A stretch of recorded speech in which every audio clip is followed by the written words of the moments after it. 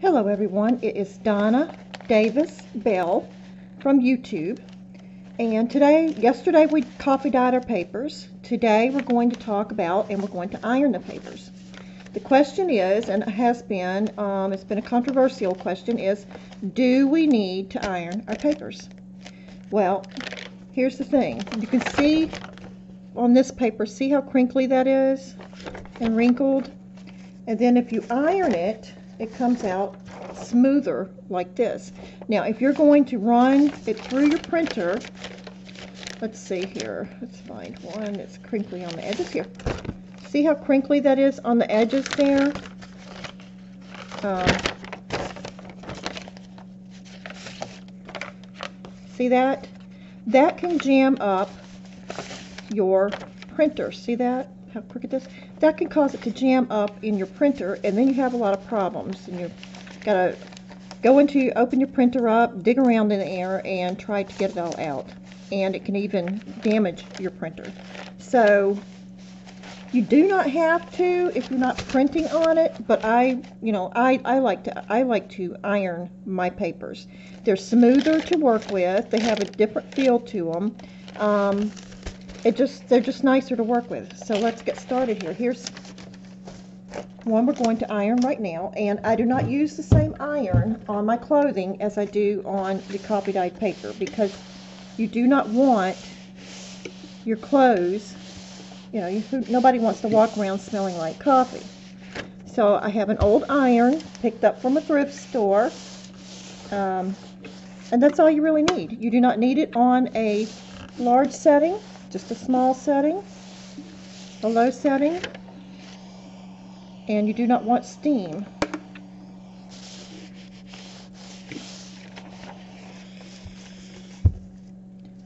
And it gives your papers a totally different feel. Easier to work with when you're um, gluing things to them. It just makes a big difference. To me, it makes a big difference. Now, some may, um, there, some people may think differently, but that's just my opinion, is that it gives it a different feel, makes it easier to work with, easier to write on, um, and it only takes a few seconds. See, like right there and here, that could cause it to um, jam up in your computer. By ironing it, you get it all down flat and easier to work with, like I said, and only takes a couple of seconds. You need a low setting on your iron. This is an old iron. You can see here I have it set to kind of between A and B. Um, and it only takes like a couple of seconds to iron the paper. Um, we're doing several pages today, so um, yeah, so that's all there is to it. You just take it, place it down. I've got an old towel laid out on my counter, an old pillowcase on top of it. Didn't even pull out my ironing board. Um, and I just ironing away. And we're going to use these in our journal. Um, so hopefully you all have your kits printed out. Um, I chose one of G. Kerr's kits. Um, I believe it is the French collection, Shabby French collection, I believe it is. Um, I'll list the link below where you can go over and get it. And we are making a journal from start to finish, including ephemera, sewing it in, the whole cover, whole nine yards. Um, let's see. So yeah, going to be probably about two to three signatures long, and for a signature you need 10 pages per signature. Um, so as you can see, I mean, we're, we're going right on along, smoothing it out, and it's going quickly. Oh, that coffee smells good. And like I said, it only takes a couple of seconds to do each page. So, and that's how it is.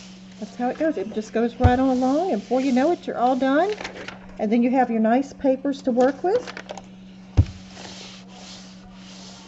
Um, if you're new to um, this video, um, to the, to this, um, and you weren't with us yesterday when we were coffee dyeing the papers, there is a video on my YouTube channel, Donna Davis Bell. Um, I downloaded it last night, or uploaded it rather, and you can go and watch it and see how we coffee dyed the papers. Now I did go back on the some of these papers and do some stamping and um, went around the edges. Like here, I went around the edges with my, some pink staining. Um, but it's the same technique as we did with the coffee dyeing. I just took my paintbrush though and went around the edges. And like this one, I just did some stamping. Not much to it.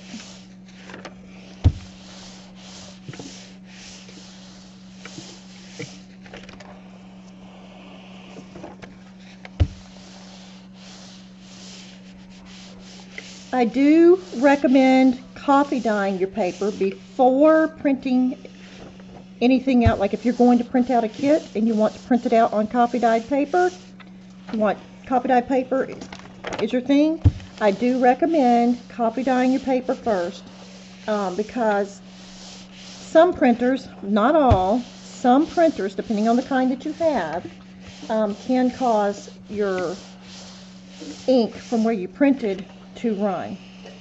So there you have it. We're all done. We've just ironed all of these papers and now they're ready to work with.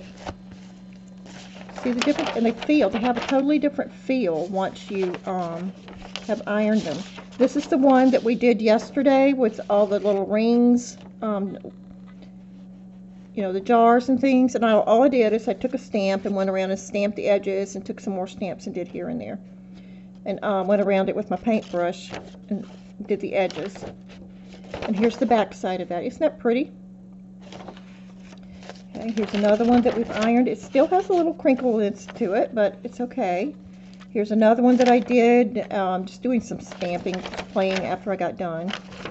Um, and another one. And here's another one.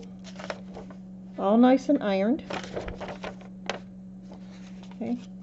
And another one. That's okay because we can cover that up when we're embellishing. Okay.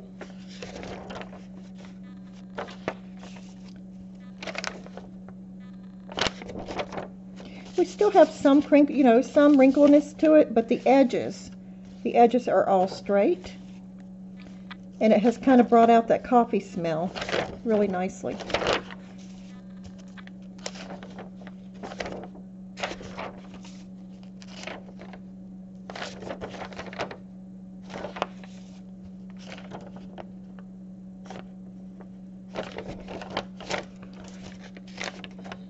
I love this one. I love the way that it come out with all of the doilies.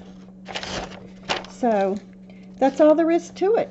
It's very simple, easy to do. You just take your iron and iron your paper.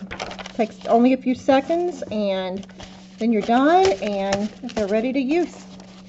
So I hope you have I hope you have all enjoyed this video. If you have, give it a thumbs up and let me know your opinion on whether we should iron or should not iron um, your pages. To me, it just makes it smoother. It's easier to sew it in because everything is, you know, flat. It just makes a makes a difference to me, um, and makes a difference in my journals. I found the quality of my journals. So there you have it. Thank you. God bless, and have a good day. Bye bye.